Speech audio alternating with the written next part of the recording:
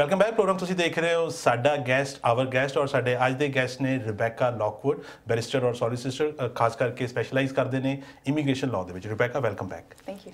Uh, we were touching upon your expertise and how you are connecting, you know, families and making the family unification easier. So thank you for your professional services.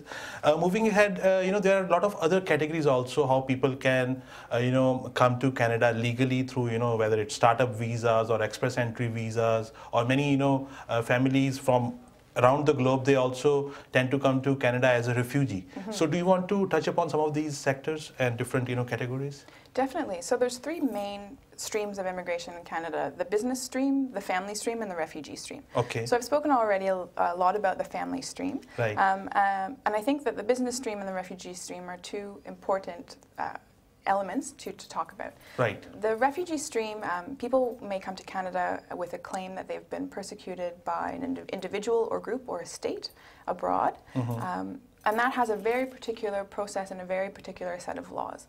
Um, I have done a lot of refugee claims and appeals, so I know how, what that process looks like. Um, I've also helped with people who may have come as refugees or may have come as students, um, but whose, whose status expires okay in Canada. Okay. And they might end up going into immigration detention. Um, or they're having t- troubles getting reg- regularized status uh, after the fact because their status expired before. Okay. So I also work a lot on inadmissibility issues um, and it, people who are in immigration and detention to try and get them out and try to get them legal status in Canada. Okay, so so in those kind of detention centers, is the legal uh, uh, like access easily available? Like, how do they get in touch with professional immigration lawyers? Uh, often family members will reach out to me. Okay. Um, or somebody in the detention center, I might already be working with them and they'll give my name to another, um, a friend of theirs in, in the detention center with them. Um, what happens is when, you're, when someone's arrested and put into immigration detention, they have different options for a review of that detention. Okay. Um, within 48 hours of being arrested, then within a week of that Okay. time, and then Oh. every month after that if they're still in detention. Okay. And so that's called a detention review, and I do a lot of those. Okay, So I will go to the detention center and I will argue why this person should be released and on what conditions. Um, and also, uh, often in those situations, to be released, you need a bonds person. So usually a family member or a friend who will put up uh, a bond or a- an amount of money to promise that you will abide by the immigration laws um, if you're released. Okay. I heard a term recently. You know, it's called pre-risk, uh, pre-removal risk assessment, something like that. Yes. So, uh, do you assist or do you provide some kind of those uh, services to uh, people? Yes, I do. So a pre-removal risk assessment is available to anybody who's made a refugee claim in the past Okay. um, and was not approved. And this is a final risk assessment before um, they have to leave Canada. Okay. Uh, and everybody's entitled to one of those with and, and that pre-removal risk assessment will keep uh, you or will keep an individual uh, from being deported. Okay. But you can't be deported before that pre-removal risk assessment is it's done. Okay. Um, but that's only available to those who have made a refugee claim. okay. So this is like a written refugee claim. Now, now it's not. There's no hearing. There's no interview. It's all on paper Mm-hmm. um, and with evidence and documentation. And, and I do a lot of those in my Okay. practice as well. Uh, you know, is there any legal aid also available to such cases? You know, like some kind of legal assistance, those who can't afford, because I understand, you know, these kind of professional services they're not easy to afford. Yes, absolutely. Uh, so legal aid is open to people who are making a refugee claim or pre-removal risk assessment, um, and sometimes a humanitarian and compassionate claim as well. Mm-hmm. It's also available to those in detention. If they can't afford a lawyer, they can apply for legal aid to have someone do their detention review as well. Okay. Uh, some lawyers, i- pri- uh, private lawyers, Mm-hmm. will offer, will take legal aid certificates, Okay. and they will do it for free, and, and then legal aid pays the lawyer. Okay. Um, and some people go to legal aid clinics, and the lawyers in the staff lawyers at the clinics will do the services for them. Okay. So are your services also available through legal aid if it has to? I, I'm in the process of applying to get legal aid. Um, uh, to take on legal aid certificates, but very soon I'll be able to do that. Okay okay so ਸਾਡੀ ਗੱਲਬਾਤ ਚੱਲ ਰਹੀ ਹੈ ਰਿਬੈਕਾ Lockwood ਨਾਲ। ਤੁਸੀਂ ਇਹਨਾਂ ਦੀ ਜਿਹੜੀ legal practice ਦੇ ਬਾਰੇ ਹੋਰ ਜਾਣਕਾਰੀ ਲੈਣਾ ਚਾਹੁੰਦੇ ਹੋ ਤੇ lockwoodlegal.ca ਦੇ ਉੱਤੇ ਜਾ ਕੇ ਜਾਣਕਾਰੀ ਲੈ ਸਕਦੇ ਹੋ ਕਿਹੜਾ ਫੋਨ ਨੰਬਰ ਹੈ ਕਿਸ ਤਰ੍ਹਾਂ ਇਹਨਾਂ ਨੂੰ ਤੁਸੀਂ ਰੀਚ ਆਊਟ ਕਰਨਾ ਹੈ। ਲੇਕਿਨ ਇਹਨਾਂ ਦੇ ਜਿਹੜੇ ਐਸੋਸੀਏਟ ਆਫਿਸਿਸ ਨੇ ਉਹ ਇੰਡੀਆ ਦੇ ਵਿੱਚ ਵੀ ਨੇ। ਸੋ ਜੇ ਤੁਹਾਡਾ ਕੋਈ ਪਰਿਵਾਰ ਦਾ ਸ਼ਖਸ ਇੰਡੀਆ ਤੋਂ ਪੰਜਾਬ ਤੋਂ ਇੱਥੇ ਆਉਣਾ ਚਾਹੁੰਦਾ ਹੈ on you نو formal legal visas legal cases ਨੂੰ ਹੈਂਡਲ ਕਰਕੇ ਤਾਂ you can definitely reach out to lockwoodlegal.ca so uh, we were talking about start startup, uh, you know, visas as well, you know, express entry visas, the business category. So throw some light on those as well. Absolutely. So express entry is now the sort of um, I call it the umbrella Okay. business stream application process, Right. and it includes both professionals uh, like engineers, lawyers, as well as skilled trades workers like electricians or carpenters. Um, and also students. So it has it combines those three categories.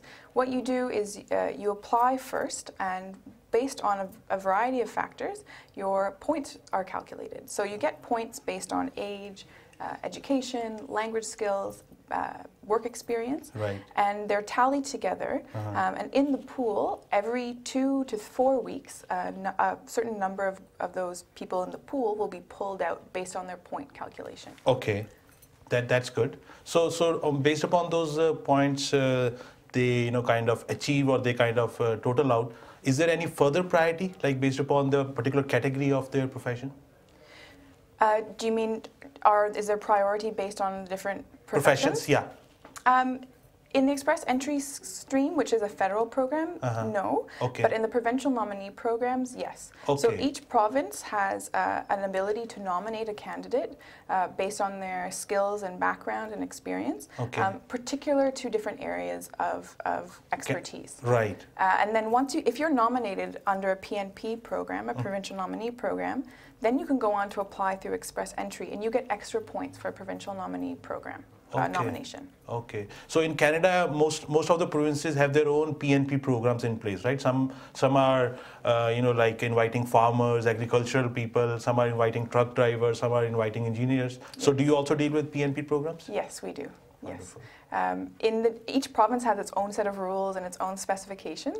So I usually help clients individually with that, um, based on what their experience is and where they want to settle. But yes, from from Toronto, from Canada, I can help anyone sort of settle in Alberta or Manitoba or Prince Edward Island, where, wherever they're looking to go.